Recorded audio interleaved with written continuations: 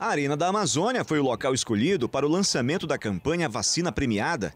A ideia é incentivar os amazonenses que completaram o ciclo vacinal contra a Covid-19, com ingressos para a partida Brasil e Uruguai, que ocorrerá no próximo dia 14 de outubro aqui em Manaus. No sábado agora, a gente já deve fazer o primeiro teste aqui na Arena da Amazônia é, da iluminação e também fazer mais uma avaliação do gramado. O primeiro sorteio acontece já nesta sexta-feira e para o público que espera participar da campanha, são 600 ingressos por dia até o dia 12 de outubro. A FIFA já disponibilizou 4 mil ingressos, sendo 3 mil para os contemplados da campanha.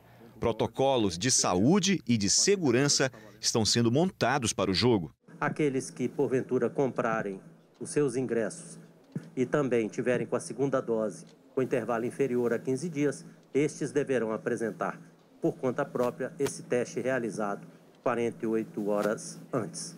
A Polícia Militar vai estar com um grande efetivo justamente para termos a segurança necessária para esse evento. Ao todo serão 15 sorteios realizados de 8 a 12 de outubro, três por dia, com um total de 600 ingressos.